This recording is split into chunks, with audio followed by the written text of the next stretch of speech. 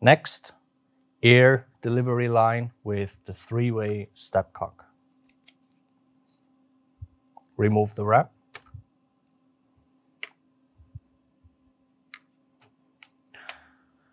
Check the three-way stopcock first. Each arm indicates an open port inside this element here.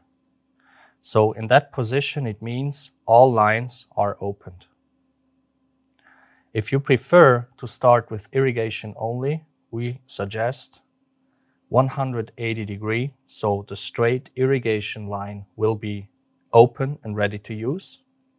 And the air line is on standby until you want to have the air.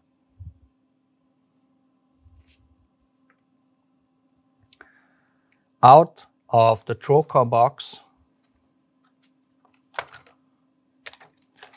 you have that short infusion line.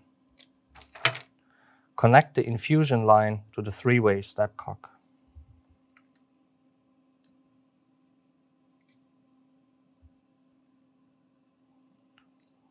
Then use the irrigation line from the cassette side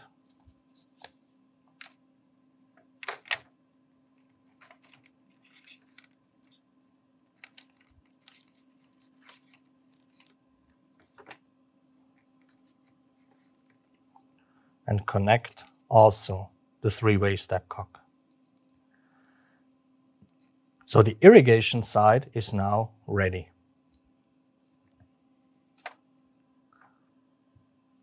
The aspiration line from the cassette side is attached directly with the cutter.